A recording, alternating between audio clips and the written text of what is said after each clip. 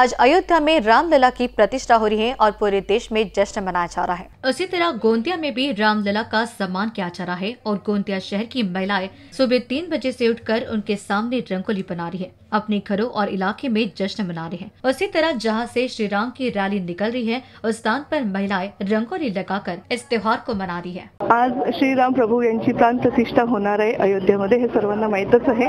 आणि जगभरात भारतात तसंच आमचं गोंदियामध्ये पण हा सगळे आनंद उत्सव साजरा करत आहे.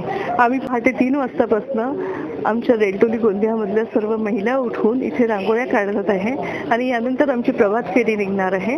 आज श्रीराम प्रभू यांची प्राणप्रतिष्ठा होणार आहे हे सर्वांना माहीतच आहे. आम्ही गोंदियामध्ये हा उत्सव आनंदोत्सव साजरा करत आहे. एनबीसी न्यूज के लिए गोंदिया से अभिषेक भटनागर की रिपोर्ट.